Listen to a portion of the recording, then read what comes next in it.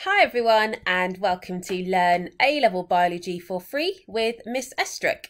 In this video I'm going to be going through the correlation coefficient which is one of the three statistics that you need to know for A-Level Biology.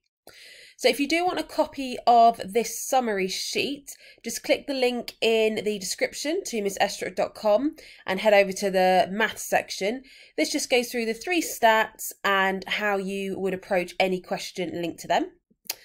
But first, let's have a look at how you decide which statistic should be used. And this flow diagram just takes you through how you know which of the three statistics you would be using. And in this video, as I said, we're just going through the correlation coefficient. So if you have continuous data, meaning you're taking measurements, um, and you're looking for an association or a correlation between those two measurements, then it would be the correlation coefficient. So, for example, if you were looking at is there an association between temperature and enzyme rate of reaction? And that's one of the examples we're going to use later in this video. Now, for AQA, you don't have to know how to do the statistic for the exam because that would take way too many minutes of a biology exam on maths. So instead, what they state you need to be able to do is justify when you would use each statistic. So justify your choice. You have to be able to write a null hypothesis for the investigation. And then if they give you the statistic result, you need to be able to write a conclusion. So the correlation coefficient is based on data where you'd have either positive correlation, or if this was the other way round, going from high to low, a negative correlation. And the whole point of statistic is, if we have a look at these three graphs, quite clearly, the first one is a strong correlation. Number two is a weak correlation. Number three, no correlation. But scenarios like number two, if we had just a few more data points lower down, it's then difficult to know, do you have a weak correlation or no correlation? And the statistic enables you to have a answer where you can say if it is a significant correlation or not. So to justify your choice of a statistic, as we said, you would be using a correlation coefficient if you have two continuous variables that you're looking for an association between them. So that would be your one mark of why would you be using the correlation coefficient. We're going to go through a whole worked example to look at how to write a null hypothesis and the conclusion. And this example is linked to required practical one, an investigation into the effect of, and I've picked temperature, on enzyme rate of reaction. So step one, you need a null hypothesis. So this would be you're stating there is no pattern, and in a correlation um, coefficient, the pattern is correlation. So we'll be stating there is no significant correlation and you always have to say between the two variables. So between the temperature and enzyme rate of reaction. So this is the null hypothesis we're going to do the statistic based on to see do we accept that this is correct or reject that it's not and there is actually a correlation. So I've used this particular data. We've got seven different temperatures from 10 to 70 and here are the rates of reaction. Now, as I said, you don't actually need to know this formula. You wouldn't be asked to calculate it at all, but I am going to go through it with you because you could be asked to use this formula to write up one of your required practicals um, throughout the course. So this should help with that. So a capital N is the number of pairs of data. So we have got one, two, three, four, five, six, seven pairs of data. D is the difference in the rank. Now that is what we need to go through. So we are going to have a look at a complete work through example. Just to let you know, your now I'm using Spearman's rank for the correlation coefficient and RS is short for Spearman's rank.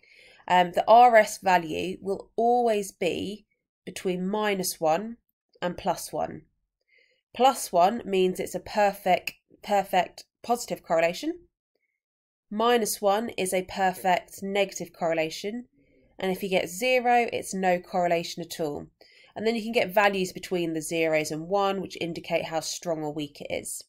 And then we'll compare it to a critical value table to say whether it's significant or not. Next then, as I said, we'll go through a whole worked example of how you calculate it, in case you need this for a practical write-up. So the first thing you need to do is rank your two sets of data. So you rank it from lowest to highest. So we've got the temperature, 10 to 70 is already in order, so that's already ranked, so 1 to 7. The rate of reaction, though, is um, as you took it, as you measured it, so it's not in order necessarily. Now, the first one does happen to be our lowest, so 5 is rank number 1, 13 is rank number 2. However, we have at temperature 30 and 70, the rate of reaction for both of those is 28. So if they're the same, they need to have the same rank. And the way that you do this is you look at which ranks they would fill up. So it'd be rank 3 and rank 4. And then it is the average of those two ranks. So if we do the average of 3 plus 4, which is 7, um, it would be 3.5. So that now means position 3 and 4 are taken. So our next highest is 30, and that would take rank 5. 35 is rank 6, and then we've got rank 7. D is working out what is the difference between the ranked values. So 1 and 1, there's no difference. 2 and 2, there's no difference. But then we've got 0.5, 2, 2, 1 and 3.5. Then we square those differences and then we add all of that column together. So the sum of d squared. And in this case, that is 21.5, just adding up that column. And now we can input that into the formula. So 6 times 21.5 and n was our number of pairs, we had 7. So then if we actually do that stage, um, this is what we'll be dividing by. And our final RS value is 0.616. Now at this stage, we can't tell if that means we have a significant correlation or not. We know that because it's a positive value, it is a positive correlation if we have one. And it's almost halfway between 0 and positive 1. So if it is a, a, significant correlation, it's a very weak one. To work out then if it is a significant correlation or not, you have to compare your calculated RS value to a critical value in a critical value table. So what we have here is um, lots of different examples of how many numbers of pairs you might have. For us, it's seven. And then you have a selection of values for that number of pairs. And those correspond to p-values. So each of these columns is a different p-value. And what a p-value is, is the probability, so p is for probability, that the correlation that you have is due to chance or not. And we always have to compare at A level to a p-value of 0.05. And what that p-value means is you have less than 5% probability, so 0.05 is 5%, 5% probability that the correlation you have is due to chance. Or in other words, that means you can be 95% confident it's not due to chance and therefore it's significant. I'm going to go through that with the results that we have and hopefully it'll be um, a bit clearer. So our S value, that was our calculated value. In this example, our RS value is 0.617. We have seven pairs of data that we were comparing. So we need to read off the seven pairs of data row. And as I said, you are always comparing to the p-value of 0.05. That is what we call the threshold point to be able to decide if it's a significant correlation or not. And our critical value at that p-value is 0.6786. So a critical value is your threshold point. And what we mean by that is you have to have an RS value either equal to the threshold or exceeding the threshold to confirm it is a significant correlation. So in our example, our calculated value of 0.616 is lower than the critical value of 0.6786, which was for the p-value of 0.5. So that doesn't exceed the critical value. That means we haven't reached or exceeded that threshold. So right in your conclusion then, you would include this statement here where you're showing that you have compared your calculated value to your critical. Then you need to say what that means.